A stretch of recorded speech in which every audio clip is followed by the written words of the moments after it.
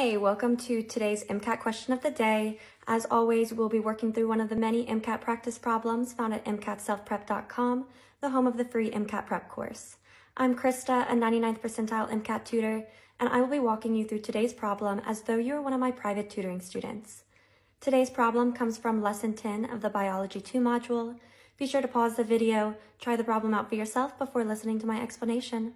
The answer choices provided in the question are all layers of the epidermis, so we need to understand what, what the function of each of these layers is. So let's remind ourselves of all five layers of the epidermis.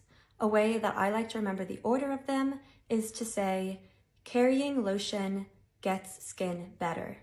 The easiest way to understand the function of each layer is to look at the functions from bottom up.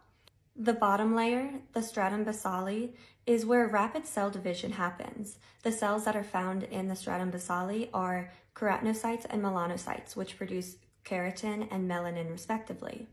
The next layer is the stratum spinosum. In this layer, desmosomes form between keratinocytes. The cells start to lose water, so it creates a spiny look, which is where the name comes from. Also, this is where Langerhans immune cells are found.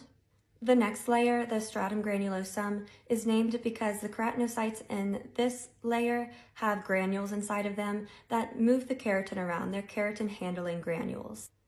And then the next layer, as the cells move from the bottom layers to the top, is the stratum lucidium. This one is named because the cells in this layer are clear. They've worked so hard in the past three layers that they actually start to die off. They lose their nuclei, their organelles, and their granules and become the, a clear color because they don't have those organelles that give them the color. As they continue to move up, they reach the stratum corneum, which is composed of 15 to 20 layers of dead keratinocytes. Now that we know the structure and function of each of the five layers of the epidermis, we can go ahead and make a logical conclusion for our answer. Since we want to target the melanin-producing cells for gene therapy, we have to target melanocytes, which are only found in the stratum basale of the epidermis.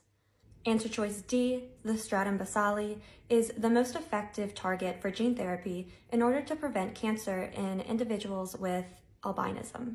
If you enjoyed this MCAT question of the day, give us a follow and go check out MCATselfprep.com for more tips, tricks, and resources on how to do well on the MCAT.